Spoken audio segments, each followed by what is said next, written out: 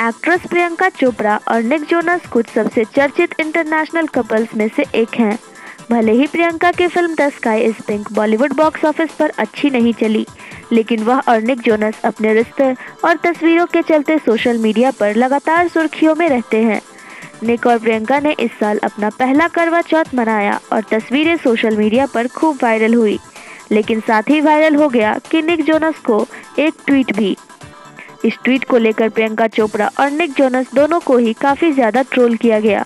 Users ने इस पर मीम्स बनाए और उनका काफ़ी ज़्यादा मज़ाक भी उड़ाया। दरअसल निक जोनस ने अपनी पत्नी प्रियंका चोपड़ा की तारीफ़ में कुछ लाइनें सोशल मीडिया पर लिख दी। इसके बाद उन्हें सोशल मीडिया पर ट्रोल किया जाने लगा। लोगों का कहना है कि निक जोनस का पोस्ट लिखने का अंदाज ऐसा है जैसे छोटी क्लास का कोई स्टूडेंट ऐसे लिखता है। निक ने लिखा मेरी पत्नी भारतीय है, वह एक हिंदू है, वह हर मामले में अतुल्य है। उन्होंने मुझे अपनी संस्कृति और धर्म के बारे में बहुत कुछ सिखाया है। मैं उनसे बहुत प्यार करता हूँ और जैसा कि आप देख सकते हैं कि हम साथ में खूब मज़ा करते हैं।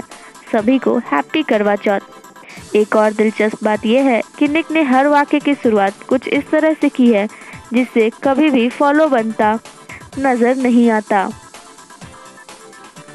निक के ट्वीट करने के कुछ ही देर बाद लोगों ने उन्हें ट्रोल करना शुरू कर दिया। एक यूज़र ने निक द्वारा बार बार कैपिटल लेटर्स यूज़ किए जाने को लेकर निक को पॉइंट आउट किया है।